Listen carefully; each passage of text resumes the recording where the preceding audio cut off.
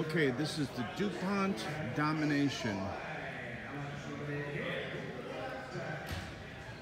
I think it was a palette, so to speak, for DuPont to show off their paint products and colors.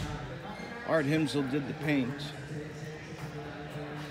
I believe those are Colorado custom wheels. It's got a hand-built body. The underside is a tube chassis done by Leonard Lopez of Domination Motorsports in the Bay Area. Leonard's been at it for years. Great guy, great craftsman. This is the inside.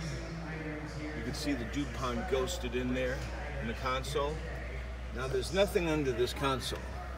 It floats. This is your shifter. Colorado custom wheel, old custom interior. I don't know where the windshield came from, but they found one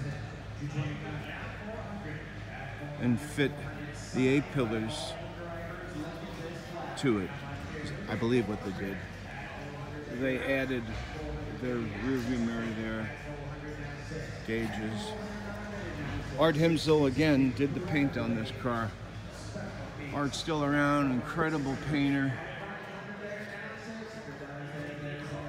I bought this car from Don and Flo Makowski. They've owned it since, I think, 1998 or 9. Here are the headlights.